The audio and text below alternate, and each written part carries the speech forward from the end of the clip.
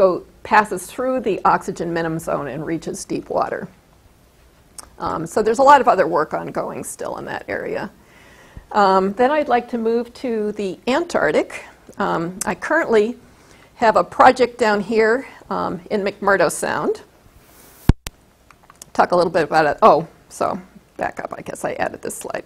Um, I've spent years working in and around the Antarctic Peninsula, which is a region of one of the fastest warming places on the globe, um, besides the Arctic. And so um, there's um, a lot of work going on here to, to look at the effects of um, what that's doing to the ecosystem. We know it's changing sea ice duration, sea ice extent. Um, there's been changes in um, phytoplankton blooms and distribution. These are some papers we've published in the last few years. Um, a lot of my work is focused on the Antarctic krill, Euphausia superba, um, sort of basic ecology, but Euphausia superba is the basis of a commercial fishery, and it's considered to be an underutilized fishery. Um, they've currently increased harvesting to about 200,000 tons. Um, there have been some estimates it could go up to a, a million tons and still be sustainable, um, but the largest catches are here at the end of the Antarctic Peninsula, um, and they're often gravid females during summer forming swarms. Um, plus, this is the region that is warming. Um, there's evidence suggesting that 50% of the krill population has dec declined over the last 50 years. Um, uh, the sea ice is retreating, and we've found that um, phytoplankton blooms that used to occur up at the northern end of the Antarctic Peninsula um, are no longer supported, but instead we have these large persistent blooms that occur at the southern end. Um, so I had a former student, Marina Marrari, who collaborated with Chuanmin to look at the climatology of um, phytoplankton blooms in the region. And I've been working with um, a group of modelers, Eileen Hofmann, um, her student Andrea um, Piñones, Michael Dinniman, and John Klinck, to um, use a coupled physical biological model to look at the connectivity and transport of, of um, krill. Um, it's unknown whether or not the krill populations along the Antarctic Peninsula are self-sustaining or dependent upon um, lateral transport and um, recruitment from other regions. And it indeed looks like it is dependent. There's certainly um, connectivity and input from upstream populations onto the shelf. So in a five-minute overview, it's a very short summary of some of the results we've been working on. The project that I'm working on in the in McMurdo Sound's a little different um, than things I've done before. We had tried to get funding um, to use ships to go in and work on this project, but were unsuccessful. So we decided, well, we didn't need ships, we'd use snowmobiles. Um, so this is uh, the fast ice edge off of McMurdo. And um, the focus of this project is to look at the um, impact of predation, uh, the top-down forcing on um, pelagic zooplankton and fish in this um, system in the Ross Sea. The Ross Sea is still relatively pristine compared to most other ocean systems. There um, has been some whaling um, that occurred in the 20s along with um, other regions in the Antarctic, and there's currently a fishery for the Patagonia toothfish. Most of you will recognize it as the Chilean sea bass. Do not order it. It's a highly volatile, um, not supported um, fishery. Um, the sea bass, um, actually, they're huge fish.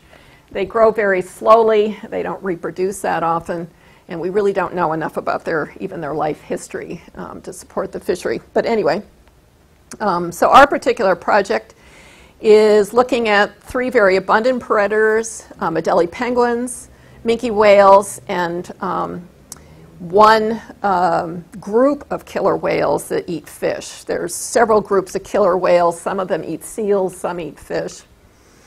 Um, uh, and again, looking at the mortality pressure that they um, exert on their prey, uh, a type of um, euphausiid or krill, and then a fish that lives under the sea ice. And um, the way we could do this without a ship is that every year an icebreaker comes in and breaks a channel through fast ice so that the supply vessel can come into McMurdo Station. And um, the predator investigators had noted that when they did that, thousands of penguins and dozens of whales and seals followed the icebreaker in, having a feeding frenzy. So the sea ice has acted as a uh, refugium for the prey until the icebreaker comes in. So we were going to make use of this as a natural experiment. Um, so our experiment addresses three questions. Uh, what are the seasonal changes in fast ice? The physical oceanography conditions, phytoplankton, distribution of phytoplankton, krill, and fish, um, before the icebreaker comes in and then after the icebreaker comes in. And here you can see a picture of the euphausiid. Um, the fish, they're fairly small.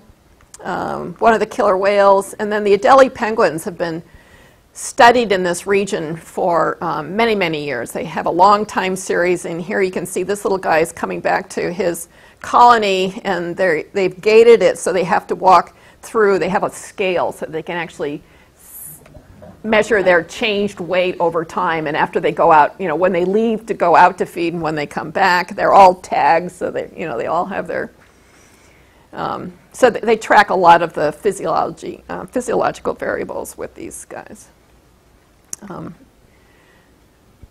oops. Um, so this is just a map of where we're working um, this is the here's the Ross Sea out here um, this is the Ross um, ice shelf, which you can see part of it here, and McMurdo's just kind of on the very edge. So we're working down at the very bottom of the Ross Sea, the southern region. So this is a blow up. This is um, the ice shelf. So there's water um, under here. Uh, this is land. It's an island. It's the Ross Island. And then McMurdo's right on the very back side of this little peninsula. And this shows um, major penguin colonies um, penguins in this area are very successful. Um, their population um, has been increasing for a number of years. Um, this is the fast ice edge and general circulation. Um, so our study area is roughly in here. This shows the path of the vessel breaking through to McMurdo. so again, we just turned the map upside down, but we're working in this area. Um, just some pictures I'll go through really quickly. This is McMurdo Base. Uh, instead of being on a ship every day, we packed up our gear, um, drove it down onto the ice, packed it in the snowmobile. So we were using remotely operated vehicles. So we had lots of um, uh, computer equipment, sensitive electronics, um, ice drills. We had a huge amount of equipment. Um, and I should mention Heather Broadbent. I noticed she came in earlier. She was one of our main people. She was down there for three months last year. I'll be going back down again. Um, here's our camp. Uh, so we set up a tent with all the electronics in it. This is a PistenBully. It's really fun to drive out onto the ice. So it's, it was about 25 miles out to the ice edge and back every day. It was quite a haul. Um, so we had to pack everything up into these banana sleds, um, drill through the ice, and then um, here's our ROV. So it was built to go through a 10 inch Jiffy drill hole, so it's long and thin. Um, this is the ROV part, the remotely operated vehicle with cameras, and then uh, this is called Skinny, and then um, it had this tail we call Fatty that had um, 120 kilohertz acoustic echo sounder on it and a WET Labs um, fluorescence backscatter sensor. Um, so it, we slip it in through the ice hole and then we do transects under the ice. Um, so here is our stations going in from the ice edge. And this is just a time series of our results um, at this station here and then out here. And this is just to show you that over the three month period, we saw long, large changes. Initially, early in, in November, it's pretty much isothermal. Um, then the water heats up. A lot of the ice disappears in this area. Um, and I will point out the scale is very narrow here. This looks like it's really warming, but you know, there's not much change in temperature here. Um, but we did see warming in the ice. We did see ice uh, um, salinity changes. There was a lot of ice melt under the sea ice, which um, changed densities. Um, we took ice cores to look at food availability at the wa- ice water interface. You can see a lot of um, uh, ice um, ice biota growing there. Um, and here's a blow up of, um, or um, some images from um, uh, microscopic images. Uh, we had long chain stringy diatoms, um, which aren't normally seen out in this region of McMurdo Sound. so the chlorophyll values that we observed changed over time. The ice algae was very high in November and then um, started, as the water warmed up, sloughed off and disappeared by January. Um, these values are up to 1,000 micrograms per liter, which are some of the highest values ever reported from McMurdo. The water column samples were um, usually about 10 micrograms or, less, or less, but we did get some up to 40, which is, again, some of the highest values ever observed in this region. Um, we're also looking at um, high performance liquid chromatography, phytoplankton pigments, um, particular organic carbon.